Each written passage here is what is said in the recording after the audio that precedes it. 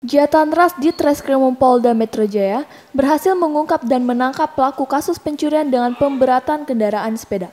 Dalam melakukan aksinya, tersangka yang berjumlah 8 orang memiliki perannya masing-masing. Polisi berhasil mengamankan tujuh orang tersangka yang berinisial ETB, RH, YI, AS, E, T, dan M. Sedangkan satu orang pelaku lainnya yang berinisial M masih dalam pengejaran.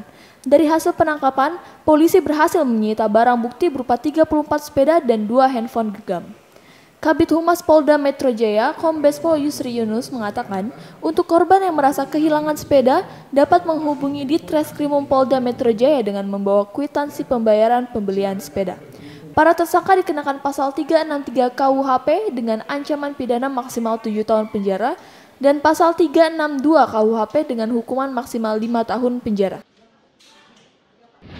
Hari ini kita mengamankan 34 ya. 34 sepeda ini dari Penada.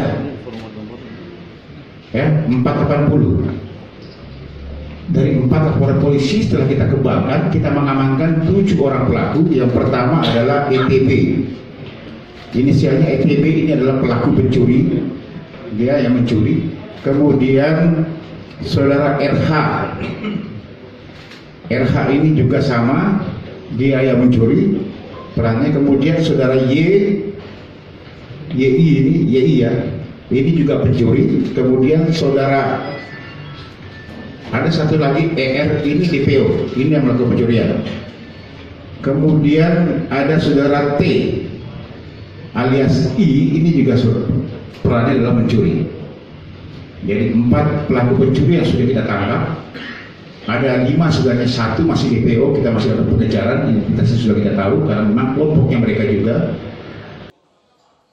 Dari Jakarta Mutia Wahyu dan Luluwita Tribrata TV salam Tribrata